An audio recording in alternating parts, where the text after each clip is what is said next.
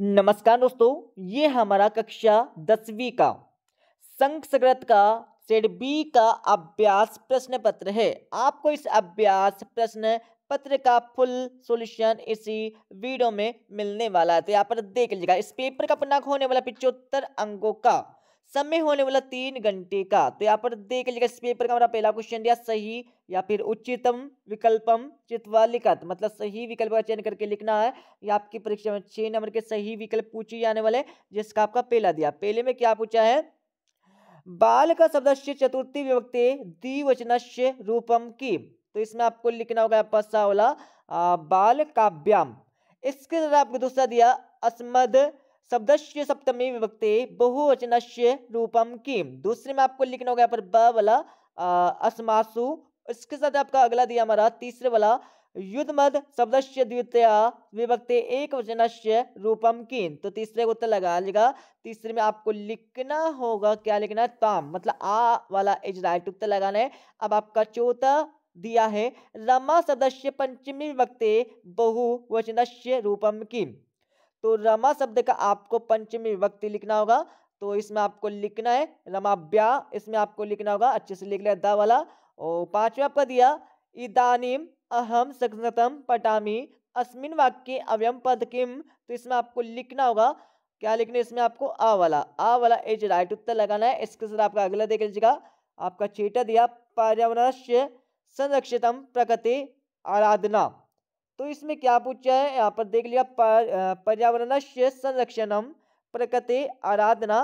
तो इसमें अत्र, एव, सदा बई मतलब क्या करने इसमें? आपको करेक्ट आंसर चार्ट कर लिखना है। पर्यावरण संरक्षण, प्रकृति आराधना, अत्र मत यहाँ, एव और सदा। और बही मतलब बहुत और सदा मतलब सदैव। और मतलब पर्यावरण संरक्षण इसमें आपको लिखना होगा यहाँ पर, क्या लिखना है? सावा लिखना है, ठीक है? सदा आपको लिखना है।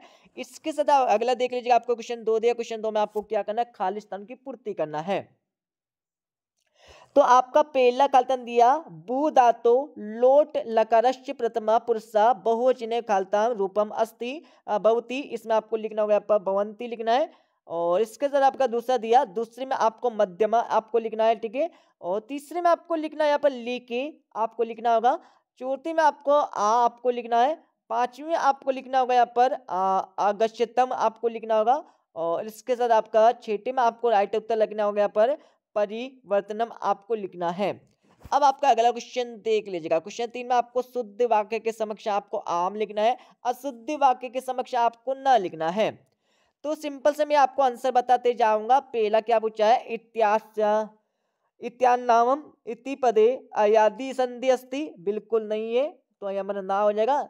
और दूसरा आपका दिया है पित्रादेशा इतस्त्र, यन संधि अस्ति, ना इसमें भी आ जाएगा आपका। और तीसरा आपका दिया, दयो प्लस अपी बराबर दयो रपी, बहुत ही इसमें आ जाएगा, आपका ना हो जाएगा ये भी। और चौथा आपका दिया चौथा हो जाएगा, आपका ना हो जाएगा बिल्कुल, और पांचवा आपका दिया पंचवटी इत, इतत्र दिगु समास अस्ति बिल्कुल हमारा आम हो जाएगा, आम मतलब सत्य हो जाएगा, ठीक है? और यहाँ पर छेटा दिया हमारा ग्रहम ग्रहम प्रति, बराबर प्रति ग्रहम इतत्र अव्यभाव समास अस्ति तो ये हमारा हो जाएगा बिल्कुल आम हो जाएगा, आम आपको लिखना होगा। अब आपको क्वेश्चन फोर दिया जिसमें आपको क्या करना है, युग मेलन कुरत मतलब सही जुड़ का मिलान करना है। तो यहाँ पर सही जोड़ का मिलान कर लीजिएगा। गम प्लस श्रेत इसमें आपको लिखना होगा, गच्छना आपको लिखना है, और गता गता में आपको लिखना होगा वृत्ति प्रत्यय, और हस नियम में आपको लिखना होगा दुर्वम में आप हस नियम में आपको क्या लिखना है, इसमें आपको अनिहर में आपको लिखना है, और जीवितम जातम तो इसमें आपको लिखना होगा दुर्वह आपको लिखना है, और सर्व क्रियासु बलवंती, इसमें आपको लिखना होगा अब बुद्धि आपको लिखना है और का, लाल, निया, इसमें आपको लिखना होगा शिशु आपको लिखना है, ठीक है? अब आपका अगला देख लीजिएगा। अगले क्या पूछा है? क्वेश्चन पाँच, एक वाक्य में उत्तर देना है, जिसका आपका पहला दिया है, समरूपम कुटुंब्य वृत्तांत, अन्यो, पदयो विश्वसन पदम, किम, अस्ति। तो किम, अस्ति, इसका उत्तर आपको क्या करना है? लगाना होगा। तो इसका उत्तर आप लगा लीजिएगा, इसमें आपको लिखना है। क्या लिखना है इसमें? इसमें आपको लिखना है। तो इसको उत्तर मैं आपको बता देता हूँ। तो इसका आंसर आपको स्वयं लगा लेना, ठीक है? और आपका दूसरा, तीसरा, चौथा, पांचवा, छठा, इन सभी का आंसर आपको बस है ना, इनका आंसर आपको लगाना है, ठीक है? इनका आंसर तो आपको स्वयं लगा लेना है, बट यहाँ पर कोशिश करें यहाँ पर इनके आंसर देने के लिए, जैसे कि आपका अदुना पूछा है अदुना का आपको विलोम बताना है, ठीक है? तो अदुना का विलोम क्या होता है आपको बताना है, शांता का आपको विलोम पद आपको लिखना होगा कुटिलम को आपको यहाँ पर इसका पारिवर्ष शब्द आपको लिखना है, ठीक है? तो इनका आंसर आराम से आपको मिल जाएँगे, सिर्फ़ इनके निकालना है, ठीक है? उसके बाद आपका अगला क्वेश्चन दिया हमारा चेटे वाला तो चेटे वाले का आंसर भी आपको बता देंगे इस वीडियो के लास्ट में, सातवें क्वेश्चन का उत्तर भी आपको बता देंगे इस वीडियो के लास्ट में, और आठवें क्वेश्चन का आंसर भी आपको बता देंगे, नौवें क्वेश्चन का आंसर भी आपको बता देंगे, दसवें क्वेश्चन का आंसर भी आपको बता देंगे, ठीक है? इसके साथ ही यहाँ पर ग्यारहवें क्वेश्चन में क्या पूछा है? इसमें आपको रेखांकित पदानी आद्यत प्रसन्न निर्माण कुरुत मतलब प्रसन्न का निर्माण आपको करना होगा। तो यहाँ पर ग्यारहवीं क्वेश्चन का उत्तर भी आपको बता देंगे, बारहवीं क्वेश्चन का उत्तर भी आपको बता देंगे, ठीक है? और तेरहवीं क्वेश्चन में आपको श्लोक लिखना होगा, इसका उत्तर भी आपको बता देंगे। चौदह क्वेश्चन में आपको क्या करना है? इसमें आपको यहाँ पर वाक्य को शुद्ध करके लिखना होगा, इसका उत्तर भी आपको बता देंगे। और पंद्रहवें क्वेश्चन का उत्तर भी आपको बता देंगे, जिसमें आपको खालतन की पूर्ति करना है। सोलहवें क्वेश्चन में आपको क्या करना है? सोलहवें क्वेश्चन में आपको इसको सही क्रम में जमा कर लिखना है, ठीक है? तो मैं बता देता हूँ इसका उत्तर। सबसे पहले आपको लिखना होगा पहले नंबर पे क्या लिखना है? पहले नंबर पे ये आपको लिखना है, ठीक है? ये आपको लिखना होगा पहले नंबर पे और इसके साथ आपके दूसरे नंबर पे आपको लिखना है। क्या लिखना है इसमें? दूसरे नंबर पे आपको लिखना होगा और इसके साथ आपका लिखना होगा तीसरे नंबर पे आपको लिखना है, चौथे नंबर पे आपको ये लिखना है, ठीक है? तो इसमें घटनाक्रम के अनुसार आपको लिखना है, जो हमने आपको बताया, अच्छे से लिख लीजिएगा। उसके बाद आपका सत्रह दिया है सत्रहवें में आपको वाच्य को परिवर्तन करके आपको लिखना है, ठीक है? तो इसका आंसर आपको बता देंगे इस वीडियो के लास्ट में। अब आपका अगला क्वेश्चन दिया हमारा अट्ठारवा अट्ठारहवें क्वेश्चन बहुत सिंपल सा है, कुछ नहीं करना है, ये फ्री के नंबर रखे आपके। जैसे कि देख लीजिएगा, यहाँ पर एक गद्यांश आपको दिया इस गद्यांश को पूरा पढ़ लेना है। इसके नीचे आपको क्वेश्चन दिया, जिसका आपका पहले दिया, भूकंपो कदा जायते? तो भूकंपो कदा जायता? तो इसमें आपको लिखना होगा, क्या लिखना? तो यहाँ से लेकर, ठीक है, भूकंप, यहाँ से लेकर यहाँ तक आपको यहाँ पर लिखना है, ठीक है? मतलब आपका यहाँ से लेकर यहाँ तक आपको लिखना होगा, पहले का आंसर दूसरा आपका दिया कैसा नाम? विस्फोटे रपी भूकंपो जायते। तो इसका उत्तर आपको मिलना होगा, कहाँ से लिखना इसका अंतर इसका उत्तर आपको मिल जाएगा। कहाँ से मिलेगा? इसका उत्तर यहाँ पर आपको लिखना होगा। और तीसरा आपका दिया, उपेत्ति स्थिति पदे का उपसर्गा तो इसमें आपको लिखना यहाँ पर उप लिखना है, ठीक है? इसके साथ आपका अगला दिया हमारा उप आपको लिखना है। और इसके साथ अगला क्वेश्चन आपका दिया, देख लीजिएगा। अथवा क्वेश्चन हमारा अतवें क्वेश्चन में आपको वही करना जो हमने आपको ऊपर बताया बट मैं आंसर आपको बता देता हूँ ताकि आप दोनों में से किसी एक आंसर अच्छे से लिख पाएँगे। तो आपका पहला दिया, मार्गी सा कम दशा तो मार्ग के साथ कम दशा ये आपको बताना है, ठीक है? तो यहाँ से लेकर यहाँ तक आपका पहले का आंसर आपको मिल जाएगा, ठीक है? दूसरा आपका दिया केन, उपेता पितृग्रह प्रति चलिता तो इसमें आपको लिखना है, कहाँ से लिखना है? भार्या, बुद्धिमती पुत्र द्वेपेता पितृग्रह प्रति चलिया था ये आपका दूसरे क्वेश्चन का उत्तर हो जाएगा। तीसरा आपका दिया को वाग्र बक्षनाय कहलम क्रोता। तो इसमें आपको लिखना है, क्या लिखना है? कते में के दशो वाग्य नाम कहलम कुरता मतलब यहाँ से लेकर, ठीक है? यहाँ थोड़ी रुक जाइए, यहाँ से लेकर यहाँ तक आपको हो जाएगा, आपका तीसरे क्वेश्चन का उत्तर हो जाएगा, ठीक है? अच्छे से लिख लीजिएगा। अब आपका उन्नीस क्वेश्चन दिया, इसमें आपको पद्यांश दिए। पद्यांश को अच्छे से पढ़ने के बाद तीन क्वेश्चन दिए, तीनों का आंसर आपको जैसे मिलने वाले। डोंट वरी मैं बता दूँगा, ठीक है? तो यहाँ पर देख लीजिएगा, आपका पेला दिया। पहले में क्या पूछा है? शुद्धिया सक्यम कीन सभवती इसमें आपको लिखना होगा। तो इसका आंसर लगा दूसरे पहले में आपको लिखना है। क्या लिखना है? पहले में आपको लिखना सुदिया संख्यम केन बहुत ही इसमें आपको कहाँ से लिखना है? तो इसका उत्तर आपको लिखना है यहाँ से लेकर यहाँ तक ठीक है? मतलब आ, वापस करेंगे। यहाँ तक आपको हो जाएगा पहले का आंसर दूसरा आपका दिया मृगा कृष्ण नाम संग तो इसमें आपको लिखना है। क्या लिखना है? यहाँ से लेकर यहाँ तक आपके दूसरे क्वेश्चन का उत्तर हो जाएगा। ये हमारा पहले का उत्तर आपको दिया, तीसरा आपको दिया सक्यम कुत्रवती सक्यम कुत्रवती सक्यम आपको लिखना है, ठीक है? तो कुत्रवती तो यहाँ पर देख लीजिए, यहाँ से लेकर यहाँ तक आपका हो जाएगा यहाँ पर तीसरे क्वेश्चन का उत्तर, ठीक है? अब आपका अगला देख लीजिएगा, यहाँ पर इसका अतो क्वेश्चन दिया। इसमें भी आपको वही करना है, जिसका हमने आपको ऊपर वाले क्वेश्चन बताया, दाविन का वीरा तो दाविन का वीरा, दाविन वीरा। यहाँ पर लिखना है ये आपको, ठीक है? यहाँ पर पहले का उत्तर आपको लिखना है। दूसरा करिए संसारा की दशा अस्थि तो संसारा की दशा अस्थि तो संसारा दृश्य अस्थि इसमें आपको लिखना होगा, विचित्र खलु, संसारा नास्ती। मतलब यहाँ पर आपको लिखना होगा, ठीक है? दूसरे का उत्तर। तीसरा आपका दिया पर भारत बारस्य वहने का वीरा। तो इसमें आपको लिखना होगा यहाँ पर खरा। ये आपको लिख देना यहाँ पर तीसरे का उत्तर, ठीक है?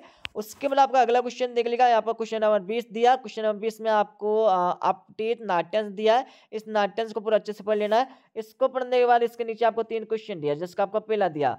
लव कुशो वंशस्य कर्ता का तो इसमें आपको लिखना होगा। क्या लिखना है इसमें? इसमें आपको लिखना होगा, यहाँ पर देख लीजिएगा। इसमें वंशज के बारे में पूछा है, ठीक है? तो यहाँ पर इसमें आपको लिखना होगा। कहाँ से लिखना है? तो यहाँ पर पहले का आंसर हो जाएगा, दूसरा आपको दिया, सौंदर्य को। तो इसमें आपको लिखना होगा, यहाँ पर क्या लिखना है? यहाँ से लेकर यहाँ तक आपको दूसरे का उत्तर हो जाएगा। या पहले का उत्तर आपको दिया, तीसरा आपको दिया, पितामह इत्यस्मिता का। तो इसमें आपको लिखना है। कहाँ से लिखना है? तो इसमें आपको लिखना होगा, अच्छे से लिख लीजिएगा इसका आंसर। तो यहाँ पर तीसरे का आंसर आपको यहाँ पर लिखना होगा। हाँ तो इसका आंसर लगा तीसरे में आपको लिखना होगा यह, ठीक है? यहाँ पर देख लीजिएगा, ये आपको उत्तर दिया, ठीक है? उसके बाद आपका अगला क्वेश्चन आपका हो जाएगा, यहाँ पर देख लीजिए इसका तो क्वेश्चन हमारा दिया। इसमें आपको सेम वही करना है, जिसका हमने आपको ऊपर वाले क्वेश्चन बताया बट मैं आपको और अच्छे से आंसर बता देता हूँ इसका। जनकश्य नमातो का वेदितो गच्छति। तो इसमें आपका ये पूछा है ना? तो इसका उत्तर आपको क्या करना है? जनकश्य मायतो का तो यहाँ पर ये लिखना है, ठीक है? पहले का आंसर, दूसरा आपका दिया यहाँ पर, जनकश्य नाम का जाना थी तो जनकश्य नाम का जाना थी इसे आपको लिखना होगा। तो इसमें आपको लिखना होगा, क्या लिखना है यहाँ पर? इसमें आपको लिखना होगा जनकश नाम का जानती तो इसमें आपको लिखना होगा, ये आपको लिखना होगा, ठीक है? दूसरे का आंसर, यहाँ पर तीसरा देख लिखा, अपूर्व दृश्य का समासा विग्रह लिखत। तो अपूर्व अपूर्व का आपको समास विग्रह लिख देना है, ठीक है? इसके साथ अगला क्वेश्चन देख लीजिए आप, बीस वाला। बीसवीं में आपको अपटित गद्यान दिया, जिसमें आपको प्रश्नों के जवाब देना है। पहले आपको दिया अस्य गदनश्य शीर्ष का लिखत। तो सज्जनाम सज्जनाम संगति आपको लिखना है। क्या लिखना है? इसमें आपको मैं लिख देता हूँ वापस से। सज्ज, सज्जनाम सत्य संगति आपको लिखना है, ठीक है? सत्य संगति आपको लिखना है। अच्छे से लिख लीजिएगा, ये हमारा शीर्षक हो जाएगा, शीर्षक आपको लिखना है, ठीक है?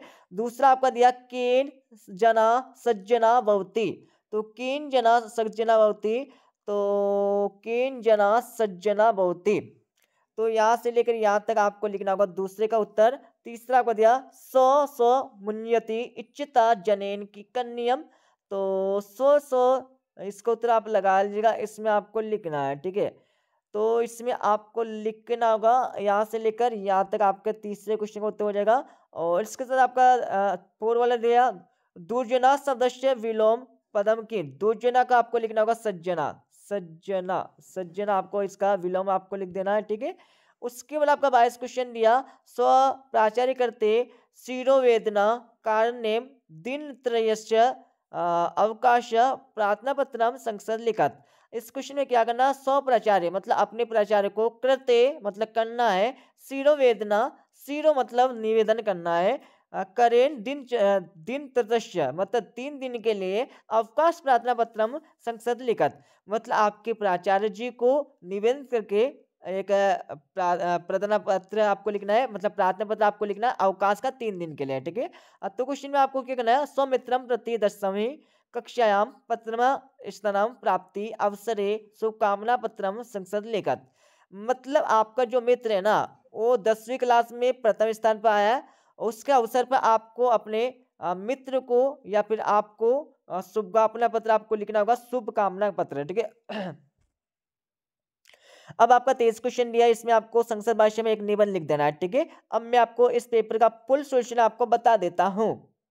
अब यहाँ पर सोल्यूशन देखते जाइए, जैसे कि आपका पहला क्वेश्चन पूछेगा था ना, सही विकल्प का चयन करके लिखना था तो ये हमारा पहले क्वेश्चन का प्रश्न क्रमांक एक का आपको उत्तर हो जाएगा, ठीक है? अच्छे से लिख लीजिएगा, पहले में आपका सा वाला, दूसरे में आपको ब वाला, तीसरे में टॉम तीसरे, चौथे में आपको रमाभ्यास पाँचवें में आपको इदानियम आपको लगाना है, और छेटी में आपको यहाँ पर मतलब स वाला मतलब स वाला आपको लगा देना है, ठीक है?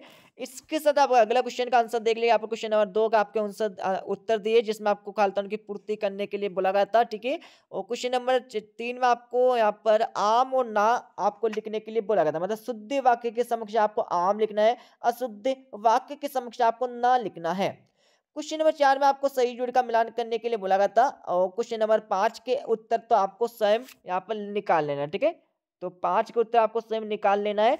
अब यहाँ पर देख लीजिएगा, यहाँ पर हमारा छठे क्वेश्चन का अतवी वाला उत्तर हो जाएगा और ये हमारा सातवें क्वेश्चन का आपका अतवी वाला उत्तर आपका हो जाएगा। ये हमारा आठवीं क्वेश्चन का उत्तर आपको हो जाएगा। आठवीं के बाद ये हमारा नौवीं क्वेश्चन का उत्तर आपको हो जाएगा। नौवें के बाद ये हमारा हो जाएगा दसवीं क्वेश्चन का उत्तर, ठीक है? और ये हमारा हो जाएगा यहाँ पर ग्यारहवीं क्वेश्चन उत्तर, ये हमारा बारहवीं क्वेश्चन उत्तर आपको दिया। ये हमारा हो जाएगा तेरहवीं क्वेश्चन उत्तर, तेरहवीं के बाद यहाँ पर हो जाएगा चौदहवें, पंद्रहवें और सोलह का उत्तर आपका दिया सत्रह का उत्तर आपको दिया, ठीक है? इसके साथ मैंने आपको अट्ठारहवा उन्नीसवा, बीसवा, इक्कीसवा, इसके साथ बाईसवा, तीसवा, पूरा बता दिया, आंसर भी आपको बता दिया था, ठीक है? तो मिलते हैं अगले वीडियो में, जब जय हिंद, वंदे मातरम।